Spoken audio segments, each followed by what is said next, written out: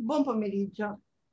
Nel nostro spazio Associazione Canale Paese delle Donne ospitiamo oggi un discorso sulla poesia.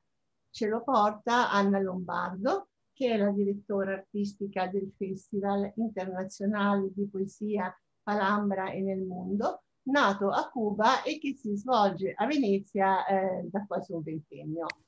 Il, di questo festival noi adesso sapremo tutto, come è nato, le finalità e tutto quanto, chi è stato premiato, chi è stato premiato nell'ultima edizione, ma soprattutto ci interessa il percorso di questo festival nel mondo e il percorso personale di Anna Lombardo, che ricordo eh, non è soltanto la direttora artistica del festival, ma è una donna che ha un, un percorso poetico importante eh, sia negli scritti poetici e sia eh, nei lavori di ricerca. E si è, infatta, si è infatti eh, laureata eh, con una tesi sulla marginalizzazione della scrittura femminile poetica contemporanea al Trinity College di Dublino e ha proseguito nella ricerca su figure femminili e maschili di poete e poeti eh, naturalmente nel mondo.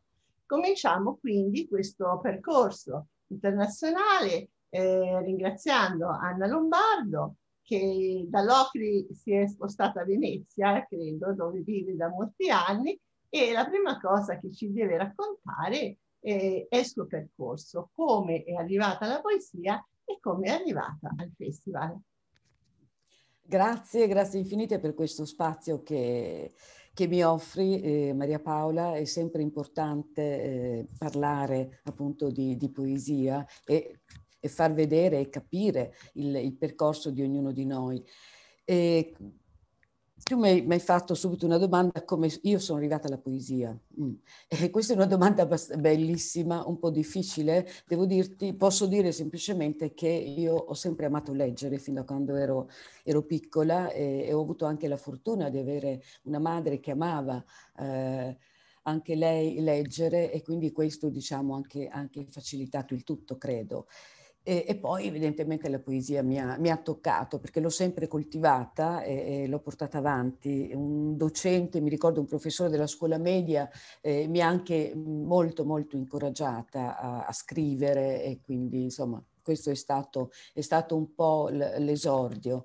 E, ehm, e dopo ho, ho, continuato. Devo dire che inizialmente la poesia era una cosa un po' privata, sai, perché non, non, era, non era, ben vista e sembrava, no, non sembrava, ovviamente non era una professione, non poteva essere una professione, soprattutto per le donne. E infatti ricordo le prime volte quando eh, così scrivevo oppure qualcosa veniva pubblicata e la facevo vedere a mia madre e lei diceva sempre, oh povera figlia mia, perché per lei era una perdita di, di tempo e quindi non mi, non mi, focalizzavo sulle cose no, reali per quanto riguardava una donna, quindi farsi la famiglia, trovare un lavoro, eccetera, eccetera.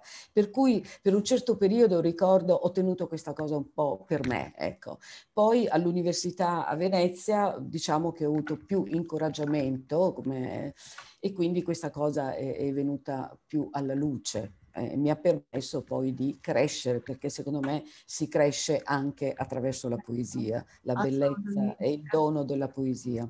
E questo passaggio sul College di Dublino, eh, ah, una io, di questo genere importante? Sì, sì, sì, molto, molto.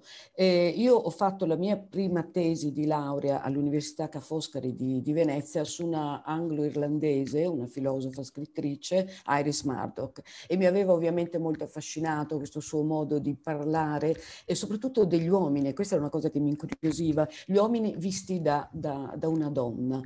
E, ehm, e dopo, eh, molto molto più avanti negli anni, è stata anche una scommessa diciamo, che ho fatto, perché subito dopo la, la laurea non ho fatto il, il, dottorato, ho fatto altre cose, ho lavorato in altri settori, in altri, in altri ambienti.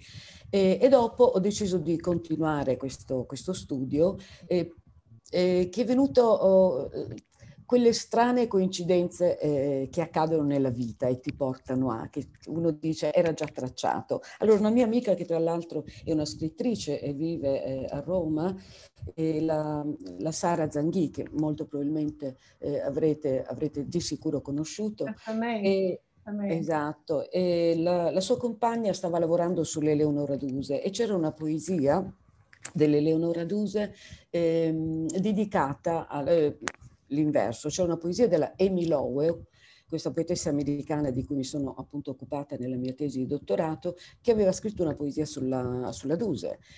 E, e, quindi lei mi chiese di, di aiutarla nella traduzione. E devo dire che questo testo letto mi ha molto molto incuriosito e affascinato e quindi sono andata a capire questa donna che negli anni venti si innamora praticamente della Duse e lì comincia a scrivere diventa, e diventa poetessa, quindi è stata una cosa incredibile no, per me. Una doppia fascinazione.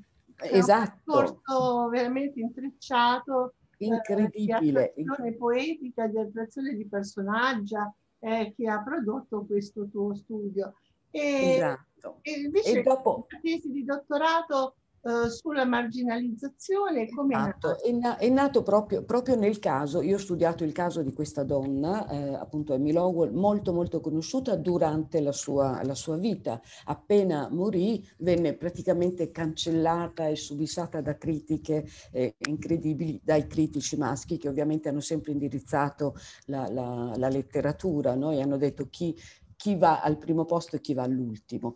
E, e, quindi questa cosa del suo erasement proprio nella letteratura ho, ho, cominciato a farmi le domande come mai, cos'è successo, anche perché lei era una delle sette famiglie più ricche degli Stati Uniti d'America che hanno fatto, che hanno fatto l'America, suo padre, suoi, la sua famiglia è, quella che ha, eh, ha costruito la sua ricchezza sul cotone tanto per dire.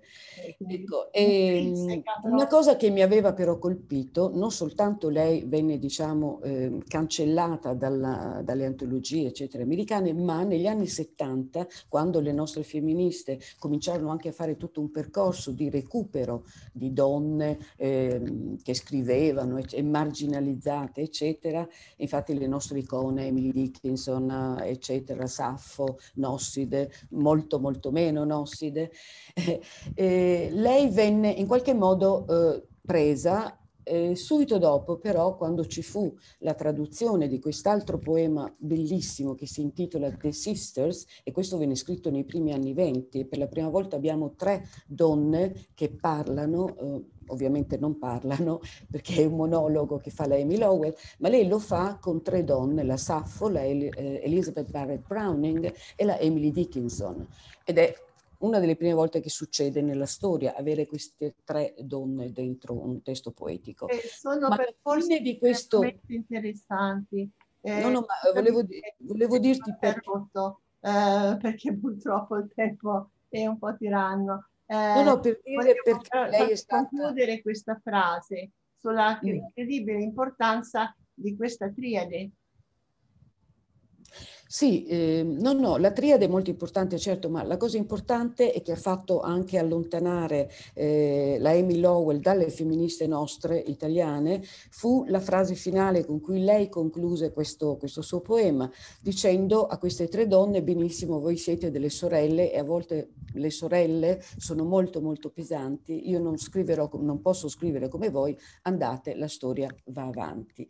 E, e questa cosa è stata letta come un allontanamento, una specie di arroganza, chiamiamo così, cosa che non era. Lei stava cercando la sua voce e dice noi dobbiamo cercare la nostra voce, prendere il meglio da ognuno di noi, di tutta, da tutte le cose che noi facciamo e andare avanti. Quindi invece di, voglio dire, era un, un prendere un, un, filo e continuare la propria, la propria tessitura, Ma diciamo così. Sono sfumature che non sono sfumature, sono, no, sono uh, passi importanti di un percorso, eh, sia attraverso il protagonismo femminile, sia attraverso il protagonismo Brava, poetico sì. delle donne, che sono un po' due cose che sembrano uguali ma non lo sono, ecco, non lo sono, eh, che portano eh, poi a delle strade come quella che hai, hai intrapreso tu, eh, incrociando il festival. Ed è il momento sul quale adesso noi arriviamo a questo festival come è nato e che finalità ha, perché mi sembra che sia nato a Cuba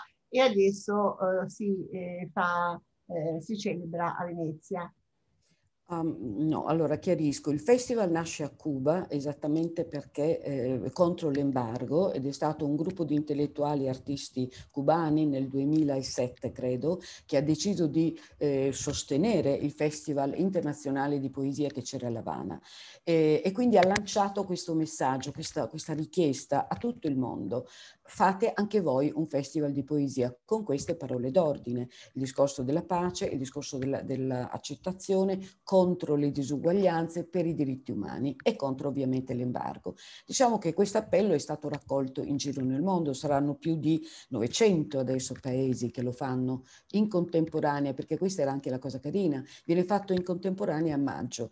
E inizialmente mh, una settimana, adesso è tutto il mese di maggio e ognuno sceglie sceglie dove, come eh, portare avanti questo tipo di, di, messaggio poetico e politico, perché questa è una cosa importante che anche, diciamo, chiarisce il concetto di poesia che portiamo avanti anche nel festival che io insieme ad altre persone facciamo qui a Venezia. In altri posti può essere anche differente, però qui ci teniamo a fare questo discorso orizzontale per cui le persone che vengono si incontrano, sono anche di diverse generazioni, di diversi paesi, si confrontano e si confrontano soprattutto sulle cose che fanno per quanto riguarda la, la, poesia, la poesia che dovrebbe sollecitare un minimo di riflessione anche su dove vogliamo andare in questo bellissimo pianeta. Ecco, eh. questo è il... Eh, e il festival viene fatto con questi criteri. Le persone che sono invitate sono tutte persone che fanno della poesia una poesia attiva, non è una poesia decorativa, è una poesia che li fa muovere, fa muovere loro e fa muovere anche le altre persone che hanno la fortuna di, di, di incontrarsi, insomma. Chiaro, Venezia è un bellissimo, è un bellissimo oh, oh, eh, scenario per, per, questi incontri. Sembra di sì, poi Venezia. E alla luce, che naturalmente uno dice la luce pensa Venezia, mi sembra quasi un sinonimo. Eh, alla luce di Venezia, alla luce del festival, eh, quale può essere tua, il tuo commento eh, sulla presenza e sul portato femminile all'interno di questo festival? Dunque, il mio, il mio desiderio eh, è sempre quello di avere un festival totalmente al femminile, non perché non ci siano eh, poeti che hanno dato un, un contributo eh, bellissimo e, e, altissimo. Cito uno, Jack Hirschman, per esempio, il poeta americano che è morto eh, quest'anno e, ehm, e, altri, però il mio sogno è avere tutto un festival femminile. Io, io, insieme alle altre persone facciamo il possibile, abbiamo sempre delle figure femminili che vengono da diverse parti del mondo, da, da, dal Messico, dall'Afghanistan, dall'Iran, dalla, dalla, Siria, cioè proprio cerchiamo di, di, coprire in base alle nostre conoscenze, perché ovviamente tutti i testi vengono fatti in lingua originale, ogni persona legge nella sua lingua, poi noi proiettiamo la traduzione in italiano perché noi italiani siamo, siamo fatti così, insomma, e questo anche limita a volte i confronti con, con i poeti che vengono da fuori, per cui si sentono, insomma, si riesce a creare, noi cerchiamo di farlo, però eh, vedo che è un po' difficile. Questa è una delle difficoltà, la parte linguistica è molto molto difficile per, per noi, insomma, per altri. È, noto, è nota di, di là dei casi personali, perché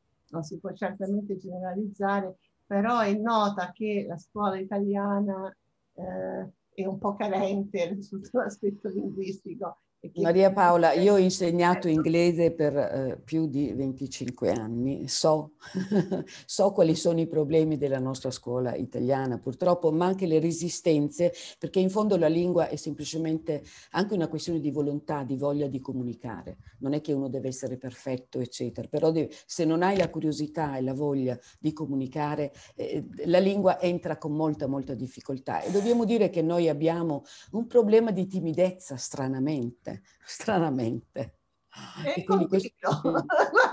condivido pienamente. Eh, senti, tornando un momento uh, sulla materia della tua tesi rispetto ai criteri sì. della marginalizzazione della scrittura poetica femminile, che è un, una qualcosa che ci interessa moltissimo, anche perché noi come associazione, insieme ad altri proponenti, eh, proponiamo il 29 ottobre eh, una giornata di riflessione nella Casa Internazionale delle Donne di Roma, alla quale ringraziamo perché c'è anche la vostra adesione, il vostro patrocinio, proprio sui percorsi, su come, come e dove eh, si, trama, si, si, si, guarda, si parla, si insegna, si tramanda, si, si visibilizza e si propone eh, la storia delle donne e la storia di genere e certo. il gruppo di studio sarà riservato proprio alla poetica, alla poetica. Tra certo. l'altro eh, coordinato da Exostere, Exostere l'erede spirituale dell'Associazione Donne Poesia che è nata nella Casa Internazionale delle Donne e ha eh, portato avanti il primo premio per poete eh, dagli anni, fine degli anni 80, fine degli 90, fino, fino all'anno scorso praticamente. Il, questo piccolo inciso era per tornare eh, su una materia precisa, cioè marginalizzazione. Eh, nell'interno del della tua tesi di dottorato, eh, quali sono gli elementi che tu hai rilevato rispetto alla marginalizzazione della scrittura poetica femminile? Eh beh, il classico, ovvio, è quello che è il, la struttura eh, del nostro sistema è, è maschile, e qui, e qui, non ci piove. E questo già è un grosso, un grosso problema. Il secondo problema è l'incapacità, perlomeno lo è stata, adesso un po' meno, anche con queste azioni che voi fate e che noi facciamo, cioè che come donne cerchiamo di fare. L'altro problema, dicevo, è la, no- è la comunicazione tra di noi.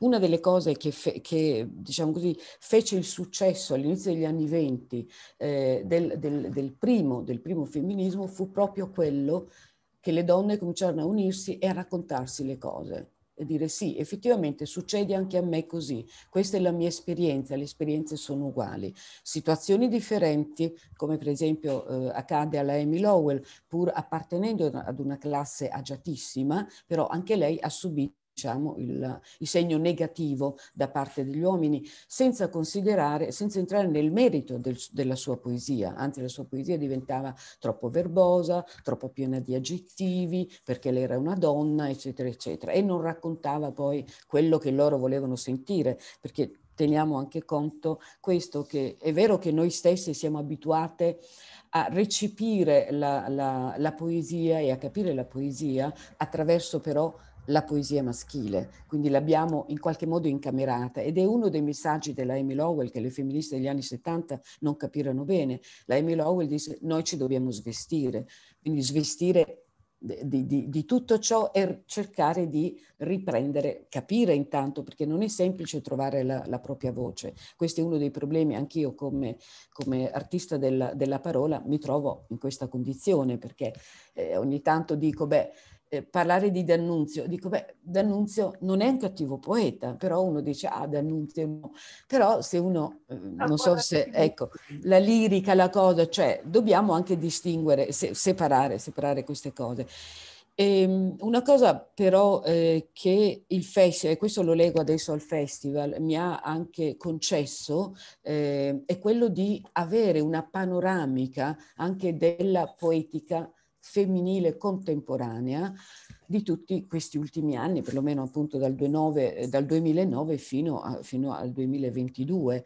E quindi mi ha, mi ha, permesso anche di capire come, eh, per esempio, ci sono una cosa che mi ha sorpreso, la, la, la poesia delle, delle poetesse rumene è leggermente differente da quella che noi pratichiamo, per esempio, in, uh, sia in Francia, ma lo stesso anche in Italia, perché la loro storia è completamente diversa. Quindi anche capire questo, qual è la loro ironia, per esempio. Mi ricordo la poetessa serba eh, Ivana Maksic, che partecipò al nostro festival quattro anni fa, e lei aveva un'ironia per noi un po', un po difficile, e ricordiamo che venivano fuori eh, da, da, un periodo molto molto brutto, ehm, come, come, appunto adesso Troppo. Stiamo, verremo fuori anche noi. Continuamente, la guerra continua proprio veramente. Ti, Senti, ehm, ti sento malissimo. Ehm, pubblicate un'antologia? Sì, noi eh, dunque la pandemia ci ha aiutato in questo, perché ovviamente non potendo fare il festival in presenza, allora abbiamo sempre fatto il festival eh, via web, ma in modo particolare. Abbiamo il sito web dove ognuno può andare e quindi anche ascoltare i testi delle, delle persone, vedere le foto che loro ci hanno mandato, perché ho chiesto eh, di, di, di avere il loro sguardo su quello che succedeva in quel momento particolare della pandemia, quindi guardarsi attorno e fare le foto e loro le hanno mandate ed è una bellissima documentazione. Non so se si riesce a vedere, questo è l'ultimo. Sì, no, l'ultima lo poi in mascherina, sì, infatti, poi ah, eh, okay. non si riesce. Questo è, è l'ultima. Benissimo. Eh, lo metteremo in mascherina così faremo eh, Grazie. pubblicità per una parola orribile, comunicazione no, esatto, esatto, anche ecco, perché insomma... Sì. No, e per noi è stato anche un grosso impegno perché c'è una cosa da dire, il nostro è un festival indipendente e, e, auto, e autofinanziato. Perché dobbiamo dire anche una cosa, eh, Venezia è molto bella, tantissime cose, però la, la, poesia non è che viene molto curata. Noi siamo gli unici che da più di, ormai cos'è, 12 anni, 15 anni facciamo esclusivamente poesia e non abbiamo assolutamente il sostegno del nostro, del nostro assessorato e del nostro comune. È una cosa veramente strana in una città. No, non è strano, non è strano perché beh, probabilmente... Sapete come sono i meccanismi, no? Quando entra eh, la politica o gli amministratori locali, eccetera, vogliono comunque dettare anche una linea, una loro legge su un qualcosa, diciamo, di cui non, non hanno assolutamente competenza. Eh, e quindi noi siccome ci teniamo alla competenza e alla qualità, le persone le scegliamo sono tutte persone che hanno, un, come dicevo prima, hanno anche un senso di responsabilità verso la loro parola poetica, perché bisogna avere una certa responsabilità, altrimenti, vabbè, scriviamoci, lo teniamo nel cassetto, ma una volta che io decido di mettere in, in, in comunione, diciamo, questo mio pensiero, questa mia scrittura, eh, devo assumermi questa responsabilità. E speriamo che ci sia un'inversione di tendenza e comunque... Me lo auguro. comunque questo è un festival bellissimo, così come Grazie. bella la vostra attività, il vostro attivismo poetico, se si può dire così. E quindi noi chiudiamo qui questo sì. bellissimo spazio. Eh, se posso dare... E degli altri appuntamenti e sì, sì. magari faremo un incontro ad hoc sulle pubblicazioni che voi avete fatto del festival. Il, ehm, rispetto a, sì. naturalmente al materiale, che cosa volevi ancora aggiungere? No, volevo dire appunto che eh, volevo semplicemente dare il sito del, del sito web dove ognuno può andare, eh, ascoltare e gustare. E il sito è www.palabra è nel mondo, tutto attaccato, che proprio significa parola nel mondo, eh, palabra è nel mondo venecia.wordpress.com. Credo che anche se si inserisce palabra nel mondo Venecia appare subito. Benissimo, ma tanto nella, nella mascherina del nostro canale ci sarà la descrizione, non dico accuratissima, però con tutte le info i riferimenti e chiunque possa vedere, vorrà vedere questo video, eh, spero in molti e in molte, eh, avrà i riferimenti anche scritti. Allora grazie moltissimo ad Anna Lombardo, grazie al Festival della, eh, per il patrocinio che ci ha dato e sicuramente ci rincontreremo in questo spazio, il canale Associazione Paese delle Donne, che è dedicato a questo, a, ad, ad attraversamenti incontri e attraversamenti. Grazie. Sono molto oh, grata anche a voi e ci vediamo ad ottobre. Ci vediamo ad ottobre. Grazie infinite. Ciao. Ciao.